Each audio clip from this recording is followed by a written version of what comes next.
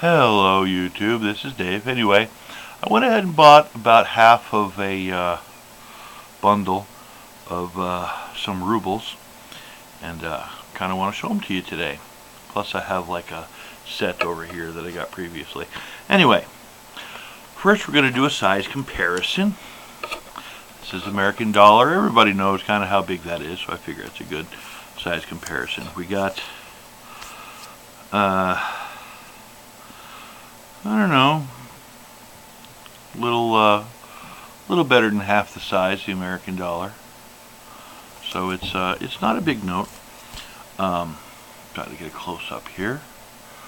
Don't know how well that's coming out on the camera, but you get the idea. There's a little watermark over here. I don't know if you can see it or not. This is, of course, one ruble. Aren't that neat? Anyway, so yeah, my, the rest of them are on eBay already. Um, that's kind of what I have left. I'll show you my, I got a little set. This is also on eBay.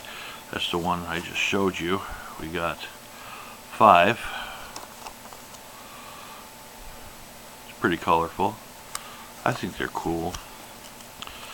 Uh, three. Not doing it in order, but 10. It's probably linen, I don't know.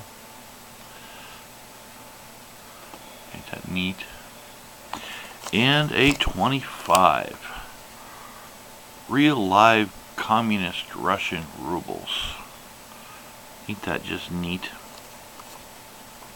Anyway, if you have any uh, wisdom or insight you would like to share about the Russian ruble, please feel free to leave a comment and uh, share your wisdom with everybody else who may or may not actually watch the video. So, have a wonderful day. Thanks for stopping by. All right, bye-bye.